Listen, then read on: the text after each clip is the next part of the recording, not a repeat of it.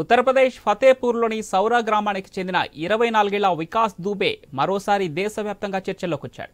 దీనికి కారణం గత నలభై రోజుల్లో ఏడుసార్లు పాము కాటు వేయటమే.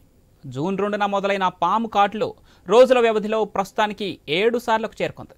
అన్నిసార్లు వైద్యులు చికిత్సతో బయటపడ్డాడు వికాస్ దూబే. ఈ యువకుడినే ఎందుకు పాము కాటేస్తుందో బంధువులకు డాక్టర్లకు అంత చిక్కడం లేదు. మొదట్లో నాలుగు సార్లు పాము కాటేసిన తర్వాత వైద్యులు బంధువుల సూచన మేరకు తన మేనత్త ఊరికి వెళ్ళాడు. అక్కడ కూడా ఐదోసారి పాము కాటివేయడంతో దిక్కు తోసలేదు. అప్పటి నుంచి భయం భయంగానే ఉంటున్నారు. ఆ తర్వాత మరో రెండుసార్లు పాము కాటువేయడంతో ఇంటిలపాది హడలిపోతున్నారు.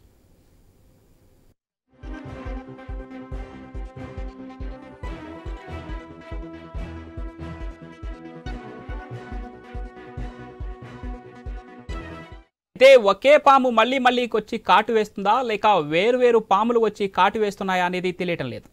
సొంతూరు వదిలి దూరంగా వెళ్ళిన పాము కాటు వేయడంతో వికాస్ దూబే కుటుంబం వణికిపోతోంది ప్రస్తుతం ఆసుపత్రిలో చికిత్స పొందుతున్న పరిస్థితి విషమంగా ఉన్నట్లు వైద్యులు చెప్తున్నారు. ఆసుపత్రిలో వికాస్ దూబే తాజాగా బంధువులకు ఒక విషయం చెప్పుకొచ్చాడు. ఇటీవల తనకు ఒక కల వచ్చిందని ఆ కలలో పాము తొమ్మిది సార్లు కాటేసిందని తెలిపారు. చివరిసారి మాత్రం తనను ఎవరూ కాపాడలేరని చెప్పుకొచ్చాడు వికాస్ దూబే.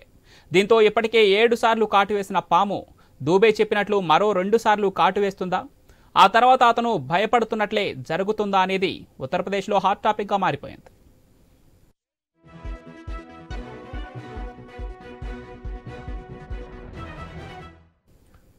కాగా పాము పగబట్టిందని కొందరు గత జన్మలో ఏదో చేయడం వల్లే వికాస్ దూబేను ఇప్పుడు ఆ పాములు వెంటాడుతున్నాయని మరికొందరు ఎవరికి తోచిన విధంగా వారు చర్చలు పెడుతున్నారు. దీనికి కొన్ని సినిమా సీన్లు పురాణ కథలను జోడిస్తున్నారు.